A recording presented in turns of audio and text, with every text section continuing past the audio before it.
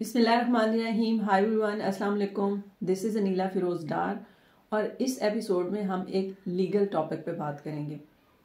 And that topic is related to the adoption of a child सबसे पहले हम देखेंगे कि पाकिस्तान में uh, अगर कोई फैमिली या शख्स किसी माइनर uh, को या वार्ड को uh, या किसी बच्चे को अडॉप्ट करना चाहता है तो उसके लिए पाकिस्तान में कौन से लॉज मौजूद हैं? किस कानून के तहत वो बच्चे को अडॉप्ट कर सकता है?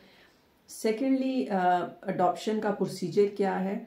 और थर्ड पे हम बात करेंगे कि कोई ऐसी फैमिली या शख्स जो कि अब्रॉड uh, में या किसी फॉरेन कंट्री में सेटल्ड है और वो चाहता है कि वो बच्चे को अडॉप्शन के बाद अपने साथ बाहर के मुल्क में लेके जाएँ तो उसके लिए क्या लॉ uh, मौजूद है और उसका क्या प्रोसीजर है? किसी चाइल्ड या माइनर को अडॉप्ट करने के हवाले से पाकिस्तान में जो कानून है उसे the guardian and wards act 1890 कहते हैं। अगर कोई शख्स या फैमिली किसी माइनर या वार्ड को अडॉप्ट करना चाहते हैं तो सबसे पहले उसके लिए अडॉप्शन डीड जो है वो बनवाई जाएगी। उस अडॉप्शन डीड में जो है वो एक, उस जो शख्स या फैमिली जो अडॉप्ट करी उसकी कंप्लीट डिटेल लिखी हुई होगी। इसके बाद the guardian and wards act 1890 का सेक्शन 10 है। उसमें एक एप्लीकेशन फॉर्म है। उस फॉर्म को जो है वो फिल करना है। फिल करने के बाद उसमें जो जितने रिक्वायर्ड डॉक्यूमेंट्स हैं वो अटैच करने के बाद थ्रू लॉयर आप उसको गार्डियन कोर्ट में एप्लीकेशन को फ़ाइल कर सकते हैं। जैसे ही गार्डियन कोर्ट में एप्लीकेशन जो है वो फ़ाइल हो जाएगी तो उसके बाद सेक्शन 11 के तहत कोर्ट जो है वो तमाम पार्टीज़ को, जो भी कंसर्न पार्टीज़ हैं उनको नोटिस सर्व कर देगी।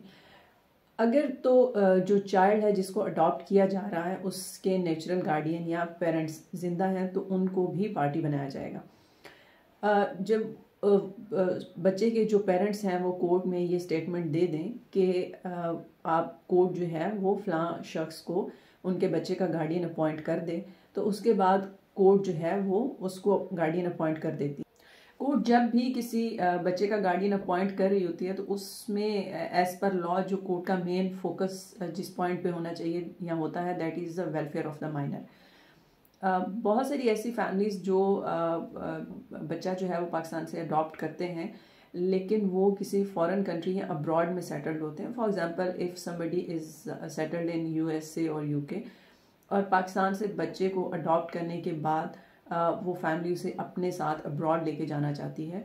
तो उसके लिए सबसे पहले जो है वो गार्डियन की अपॉइंटमेंट होना ज़रूरी है। गार्डियन की अपॉइंटमेंट के बाद वो शख्स जो है वो गार्डियन एंड वार्ड्स एक्ट के सेक्शन 26 के तहत उसी कोर्ट में, जिस कोर्ट ने उसको गार्डियन अपॉइंट किया होता है एप्लीकेशन फ़ाइल कर सकता है कि वो बच्चे को पाकिस्तान से बाहर लेके जाना चाहता है। और उस एप्लीकेशन में तमाम ग्राउंड्स भी मेंशन करेगा। Let's say for medical reasons for educational purpose जिस भी मकसद के लिए वो बच्चे को पाकिस्तान से बाहर लेके जाना चाहता है तो वो तमाम ग्राउंड्स उसमें लिखेगा।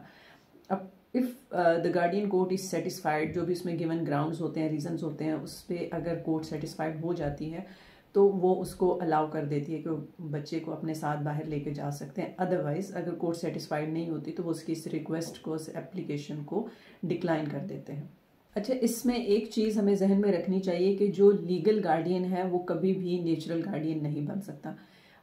लीगल uh, गार्डियन वो है जो थ्रू uh, कोर्ट या विल अप जिसकी अपॉइंटमेंट होती है लेकिन नेचुरल गार्डियन वो होता है जो बच्चे के हकीकी माँ बाप होते हैं उसके पेरेंट्स होते हैं। तो ये एक डिफरेंस है कि लीगल गार्डियन और नेचुरल गार्डियन में फ़र्क है। कभी भी जो लीगल गार्डियन है, वो नेचुरल गार्डियन नहीं बन सकता बच्चे का। तो ये था आज का एपिसोड अगर आपको अच्छा लगे तो प्लीज़ हमें कमेंट सेक्शन में ज़रूर बताएँ और इस चैनल को लाइक शेयर एंड सब्सक्राइब करें। अगर आप हमसे किसी लीगल इशू पे या लीगल टॉपिक पे ओपिनियन लेना चाहते हैं तो वो भी हमें कमेंट सेक्शन में ज़रूर बताइएगा। आपसे इन ताला मुलाकात होगी किसी और दिन एक नए टॉपिक के साथ। तब तक के लिए अल्लाह निगबान मेहरबान।